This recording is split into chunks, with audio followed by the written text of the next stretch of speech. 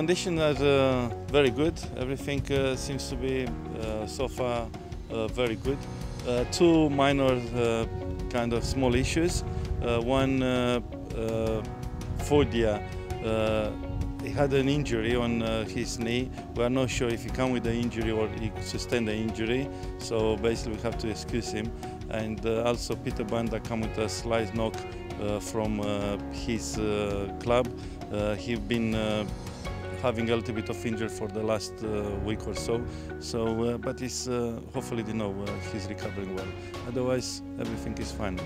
Well, it's very good. You know, uh, Lilongwe welcome them. It's a bit of a change uh, that uh, we haven't been camp here before. Uh, it's a little bit different, but the conditions are very good and we are very happy.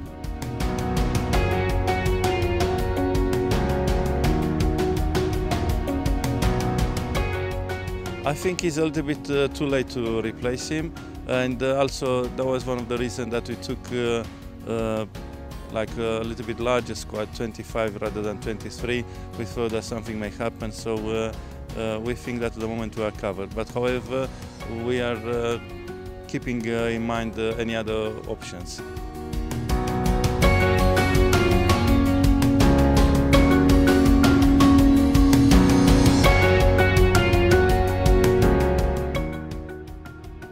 Well, they always showed, you know, tremendous commitment, even when we were COVID and they had only 12 players. So all the time, you know, we go there to win. Uh, that's the whole point. Uh, every match, it doesn't matter if it was Morocco or Senegal, we went there to win. But uh, obviously, sometimes, you know, uh, it's the fate and it's also, you know, the opponent. Uh, but uh, everyone is ready for a good game.